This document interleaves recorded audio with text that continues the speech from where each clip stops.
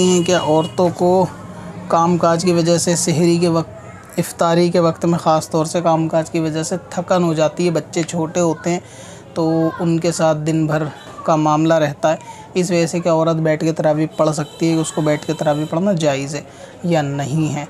तो तरावी का बैठ कर पढ़ना औरत को और मर्द को दोनों को जायज़ है।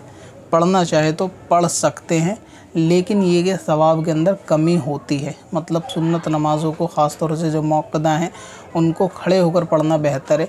लेकिन अगर किसी ने बैठकर पढ़ ली तो वो अदा हो जाएँगी। चाहे वो तराबी की नमाज़ हो तो वो भी अदा हो जाएगी, लेकिन खड़े होकर पढ़ना चाहिए।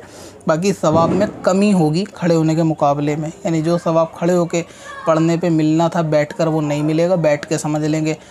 आधा सवाब मिलेगा तो ये होगा, लेकिन अदा हो जाएँगी। अगर किसी काम की मजबूरी में किसी दिन ऐसा हो कि बैठ के पढ़ें या मिक्स करके पढ़ें तो वो अलग बात है। अब अपनी ज़रूरत के लिए आसान वजीफ़ा तलाश करना हुआ और भी आसान। विज़िट करें wazifa dot S M S Warsi dot com पर और अपनी दीनों दुनिया की भलाई के लिए पाएँ ढेरों आसान वजीफ़े।